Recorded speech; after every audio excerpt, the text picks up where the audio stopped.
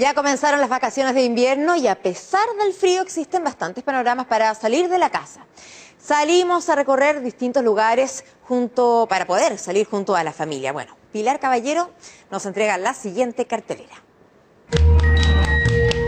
Muy lindo y me, y me hace aprender muchas cosas.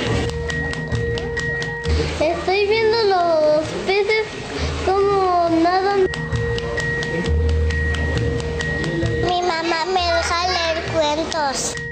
Vacaciones de invierno para los más pequeños de la casa y a pesar del frío que se siente en esta estación del año, hay panoramas que a un módico precio y en muchas ocasiones gratis nos ayudan a no quedarnos encerrados.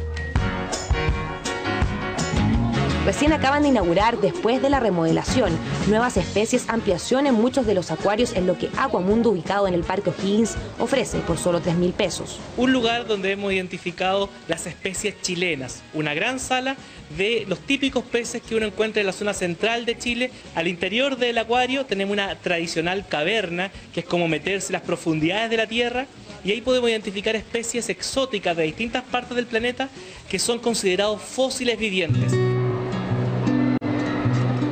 Otro panorama para salir de casa bajo un ambiente agradable está en el Centro Cultural La Moneda. La Fundación Mustakis presenta Puro Chile, Paisaje y Territorio, un lugar para grandes chicos para explorar, jugar y aprender de la historia de nuestro país, desde paseos virtuales en bicicleta, talleres, exposiciones, entre más actividades. Muy bonita. Eh, también hay unos juegos muy divertidos. He aprendido harto de la historia de Chile, también he conocido lugares que no conocía.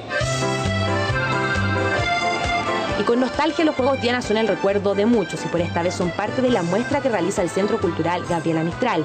Un momento de entretención para que enseñara a los niños cómo eran los días de juegos de sus padres y abuelos. Partimos en un día de lluvia y créeme que tuvimos una fila extensa de papás y de niños eh, pidiendo fichas para eh, participar en los juegos y sin duda que es un panorama para esta semana particularmente de invierno. Lo llamativo de la muestra es que para poder participar se deben comprar fichas, replicando el sistema antiguo del mítico centro de entretención de calle San Diego.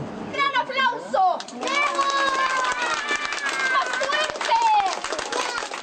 Por respeto a los demás, en las bibliotecas no se puede emitir sonidos, pero en la biblioteca viva es distinto. Aquí se puede correr, leer y hasta gritar. ¿De qué? ¿De todos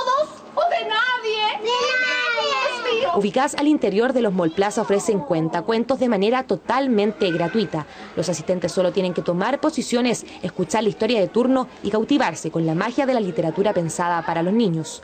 Los cuentacuentos se presentan todos los días a las 17.30 horas. Distintas opciones para que el frío no sea una excusa.